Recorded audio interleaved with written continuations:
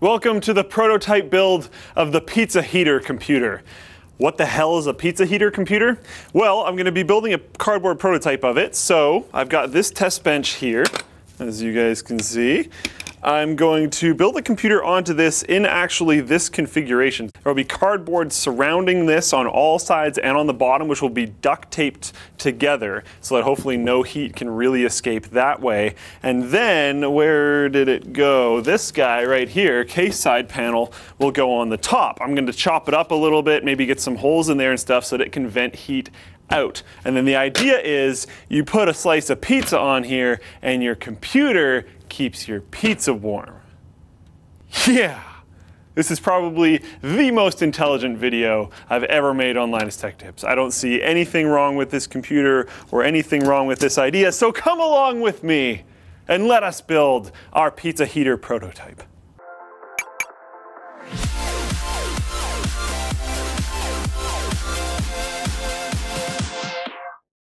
Corsair claims unrivaled comfort and universal compatibility on its new Void Surround headset, featuring genuine Dolby 7.1 headphone USB adapter. Click the link in the video description to learn more.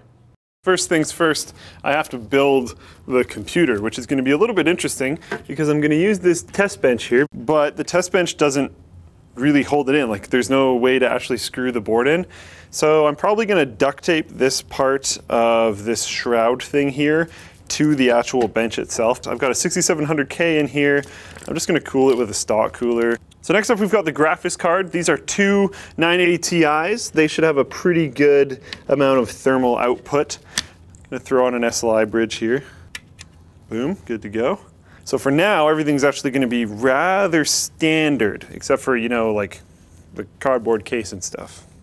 Okay, so I need to align this power supply this way because I want its thermal output going up. Got my SSD. Unfortunately, I can't just have horrible cable management and have that heat up my computer naturally because as we saw in this video, um, that's apparently not enough. Okay, so that's actually kind of the system built right there, but there's still a lot more work to do.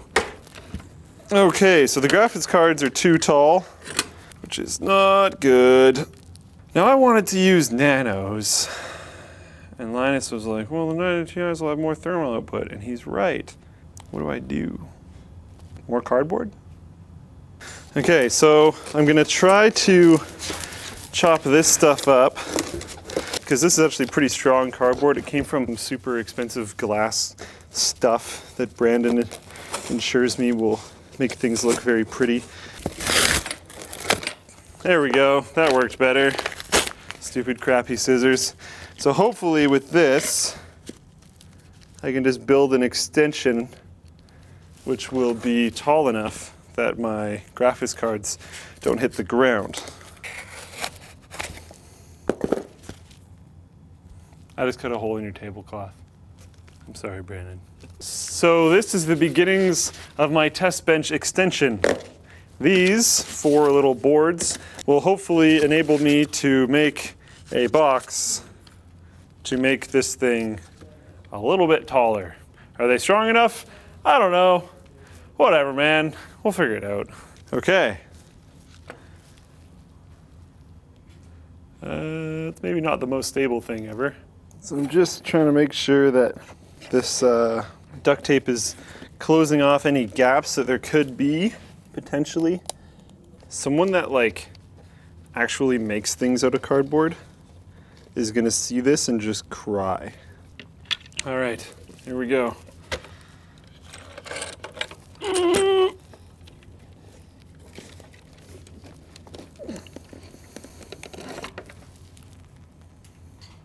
That actually might have worked.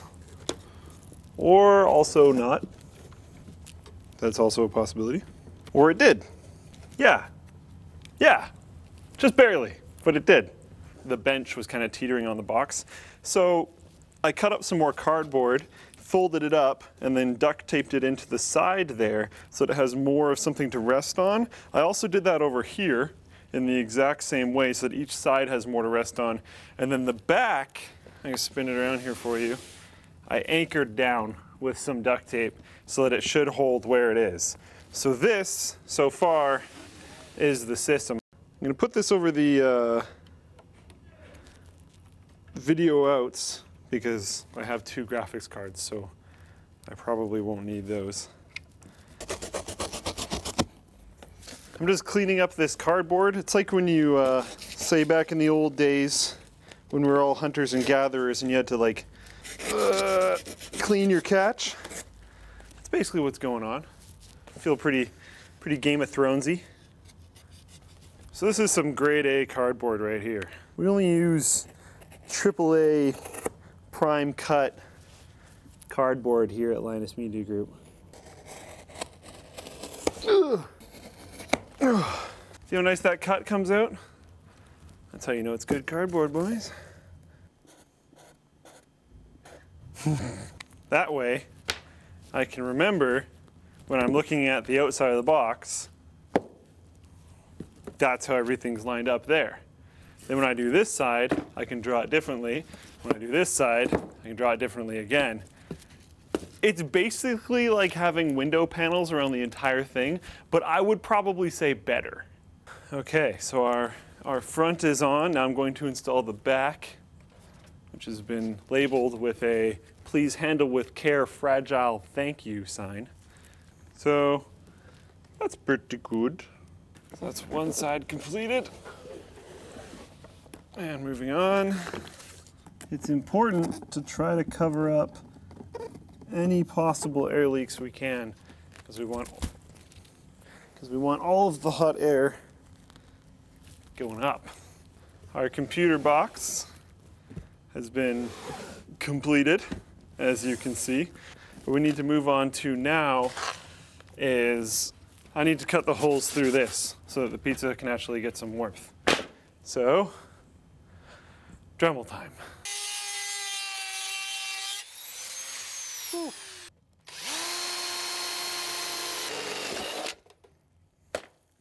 If you can't tell, I'm kind of rushing all of a sudden. It is currently the 19th, which is a Friday, and the WAN show was supposed to start like a while ago, right there, and is being held up by a few things, one of them being this build. This build is extremely important, as you guys know. This is probably one of the most important things that I've done in a while. Um, so it needs to get done. This is gonna be where I'm gonna run all of my cables. Okay. So now I've just gotta reach down in there, turn it on. That didn't turn it on. Is that power cable not plugged in or something? Yes, okay.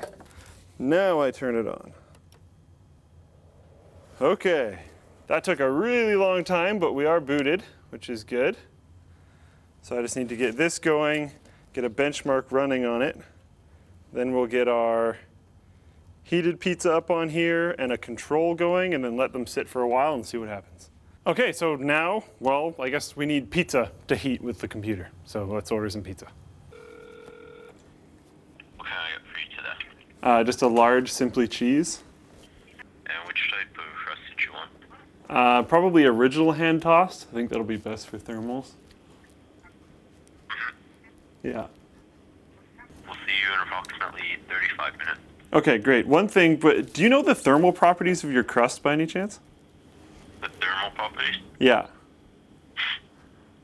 Um, uh, I'm not sure, sorry. Okay, no worries. Thanks.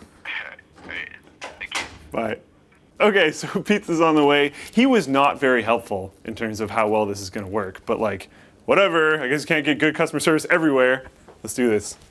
All right, so we have our hopefully thermally good pizza with original hand tossed crust, which should go nicely against the metal sheet. And it's just cheese, so there isn't any weird toppings on the top that we might have to heat up. So now what I'm gonna do is I've got these two cooking thermometers. I'm gonna put one in each pizza, one slice of pizza. I tried to get ones that were pretty similar. I think these guys are pretty similar. I'm gonna take this one and put it up on top of the computer. and leave that sit. And then this one is just gonna sit on the edge of the table over here, far enough away that it shouldn't be affected. So this slice is running at about 16.4 degrees Celsius. They're both about 16.4 degrees, and then we'll see if we can get the temperature to increase by running some benchmarks here. Okay, so AIDA64 is running on the CPU. I think I just heard the CPU fan kick up a little bit. That's good. Yeah, I can feel more air coming out of there. Now I'm gonna run Heaven, full screen. There we go. So we will check back in a little while, probably after the WAN show, and see how hot these pizza slices are. This is the coolest thing ever. Next, you should try some eggs.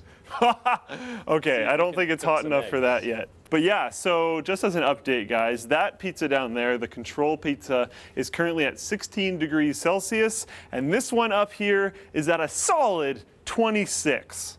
So basically, the concept will work. It's already gone up 0.2 degrees while I've been standing here talking, and it's gonna keep on rising. So basically, it's gonna work.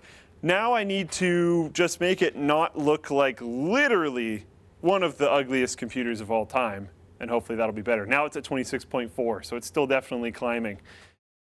DollarShaveClub.com. They deliver shavers right to your door for about a third of the price of that kind of, you know, greedy razor company that is their competition. Both my wallet and my face finally get some relief from the, the old, rusty, crappy razor that I used to use in college, but, you know, oh well. DollarShaveClub.com means you can afford to shave with a fresh blade at any point in time, which feels fantastic. And for the smoothest shave ever, you get your Dollar Shave Club blade with their Dr. Carver's shave butter which isn't your average shave cream. It has high quality ingredients that make your skin feel soft, smooth, and moisturized. And if you want that luscious skin feel, you can go to dollarshaveclub.com slash Linus to sign up if you're in the US, Canada, or Australia. Wow, every time I have to do Dollar Shave Club integration, I'm super unshaven.